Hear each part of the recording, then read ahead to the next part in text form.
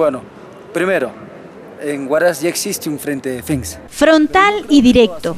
Johnny Bravo, presidente del FEDIP Huaraz, descargó toda su batería contra los dirigentes que insisten en desconocerlo. Pese a haber sido elegido legítimamente, a ellos les recordó que ya existe un FEDIP y cualquier nueva convocatoria no debe prosperar.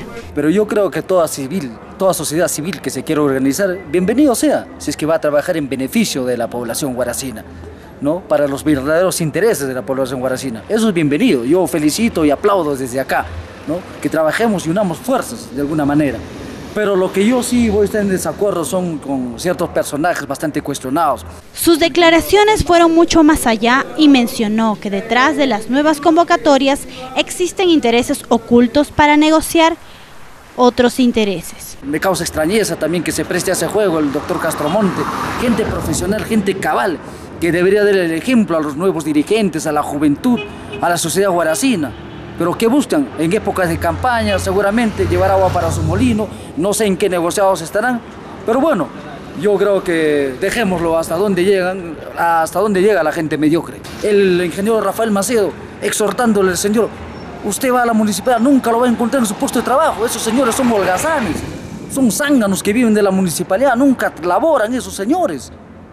Sin embargo, se hacen llamar dirigentes, sin embargo, se hacen llamar que quieren defender los intereses de Huaraz cuando ellos son los primeros causantes de la crisis dentro de una, municipalidad con ese famoso Citramún. Asimismo, llamó como mafiosos a quienes buscan desconocerlo. yo creo que pues ellos trabajan con con, personas allegadas a su, a su círculo, ¿no? a su círculo, a ese círculo cerrado de, mafiosos prácticamente en realidad, por decirlo, por decirlo menos en realidad. Nosotros somos dirigentes de, con, con, arraigo, nosotros. Nosotros venimos desde barrios, desde, desde, barrios emprendedores, desde barrios ya prolongados como el barrio de Tacán, como el barrio de Belén, barrio de Pedregal. Nosotros trabajamos con las juntas vecinales, nosotros no trabajamos con personas allegadas a los sectores públicos, a los oh, politiqueros, ¿no? En esta época de campaña. Ellos seguramente buscan tomar ventaja por eso.